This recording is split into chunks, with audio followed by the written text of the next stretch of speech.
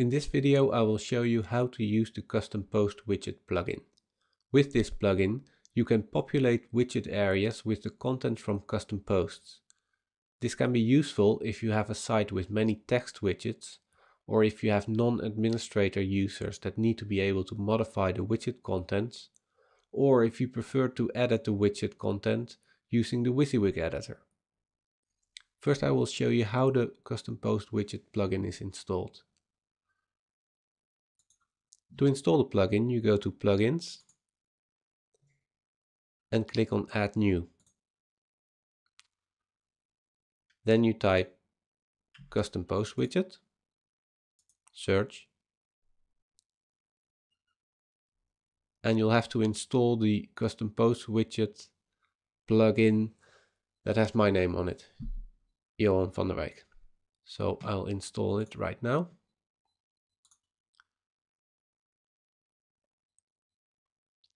And activate the plugin. After installing the plugin, a new menu option called Content Blocks appears on the admin navigation. I will now show you how to create a new custom post for the right sidebar. To do so I'll click Add Content Block. And now depending on your setup you can choose to either show the title on the site or use it to describe the content block to make managing the widgets a bit easier. In this case I want to display the title on the site, so I'll just paste it in here. Now you can just add some test text, uh, images or whatever you like, just as you would do when you're creating a regular post or page. After clicking on publish, this piece of content is available for populating the widget areas.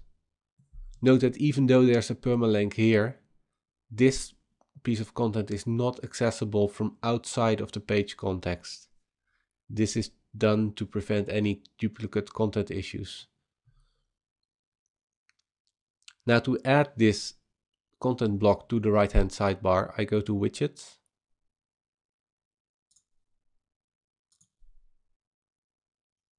expand the sidebar widget area and drag the content block in that area.